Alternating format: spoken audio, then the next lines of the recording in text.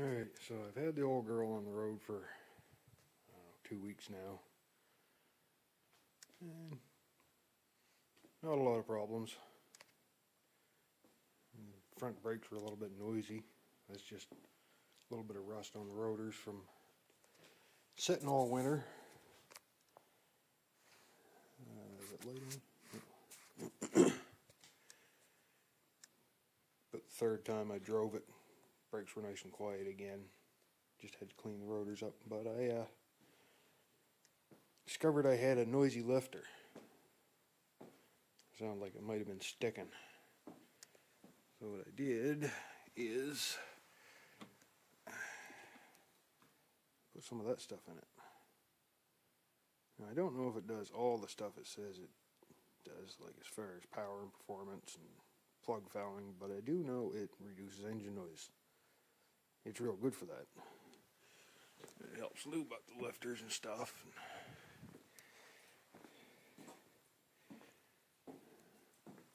Now that stuff is stupid thick, ridiculously thick.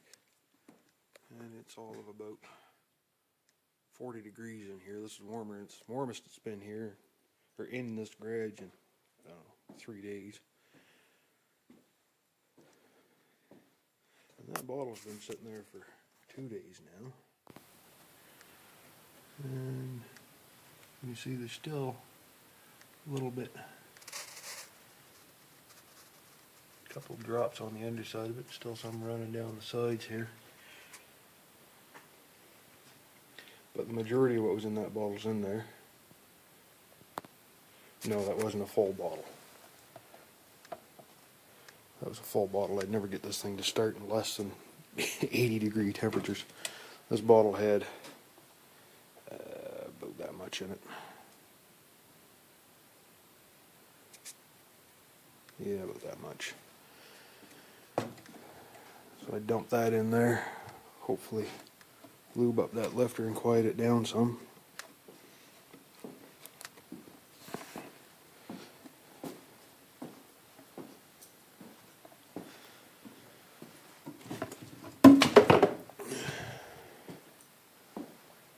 Otherwise, it's been running good. Starting good, running good. Lights and clutch and all that stuff are working the way they're supposed to.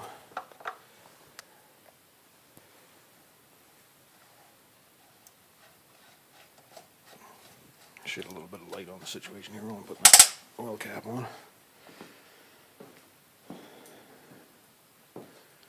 I'm going to start it up, I think, and run that lube through it. See what that does for it. I open the overhead door first.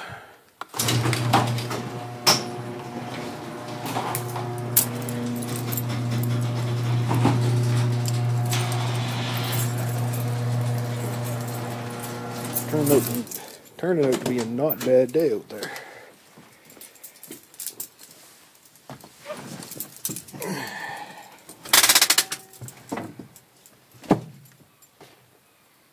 See, but looks of things, my camera lens is smudged up a bit.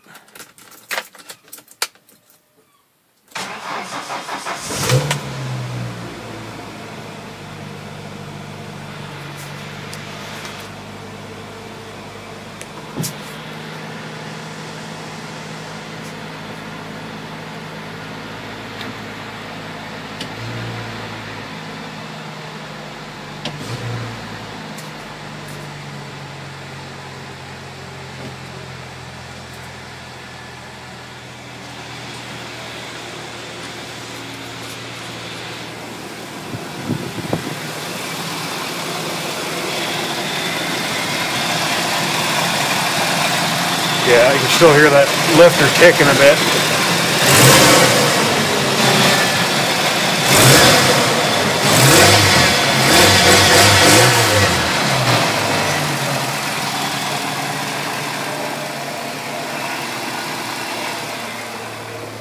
Let that run for a couple minutes and let that all get into it. Free up that lifter a bit.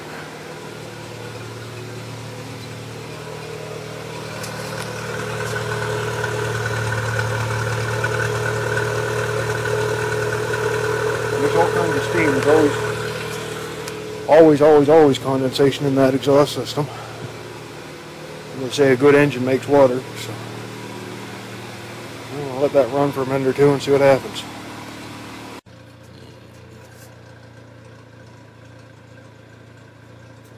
She's still making all kinds of steam. That thing always did though. A lot of condensation in the exhaust.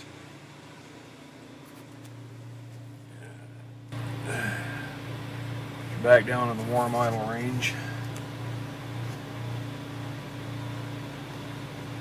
That's usually just about where it runs when it's warm.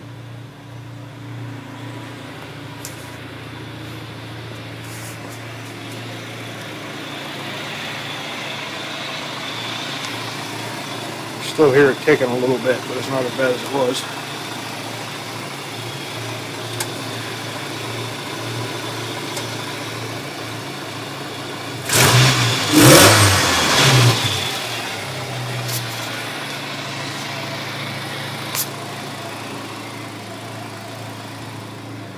Think that ought to just about do it.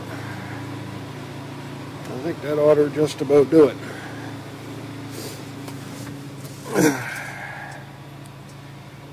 At least that's the hope.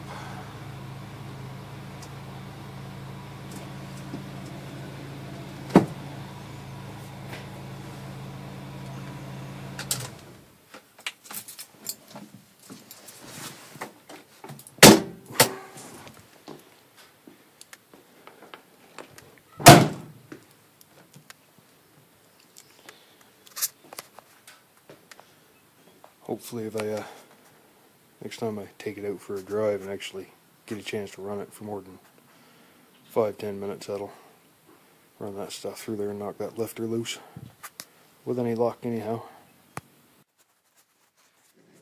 And another thing before I forget again, I actually got so far as putting my new tires in the back of the truck with the rims that they're going on.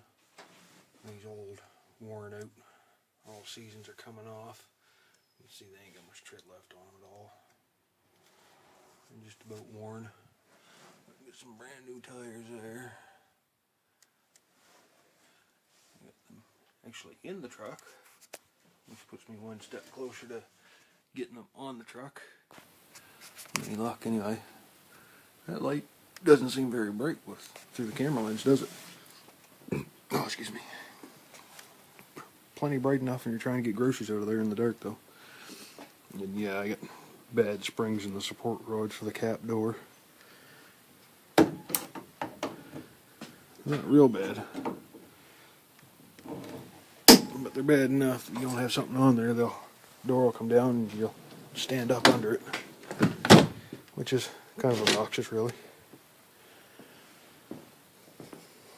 But yep, one step closer to getting the tires on it.